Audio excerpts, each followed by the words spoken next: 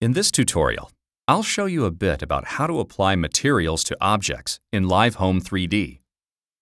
Just like adding objects, materials are applied by dragging and dropping them onto surfaces in the 3D view. The collection of more than 1,500 materials is located in the program library and is broken down into categories. As an example, we are first going to change the material of this armchair.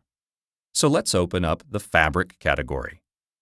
Once you find a suitable material, all you have to do is drag and drop it into the part of the object that you wish to change, in this case, the cushion area of the chair.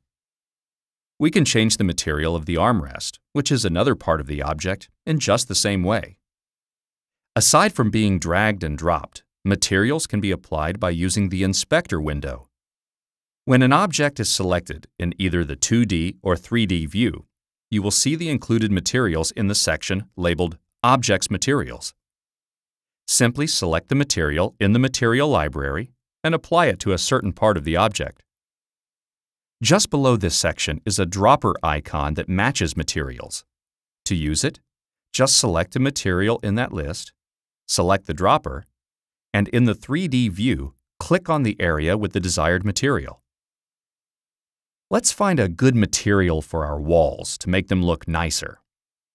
The materials on surfaces, such as walls, floors, ceilings, wall panels, slabs, and roof segments, have what are called tile transform options that appear right under the dropper when such surface is selected. Here you can change the width and height, offsets, as well as rotate the texture.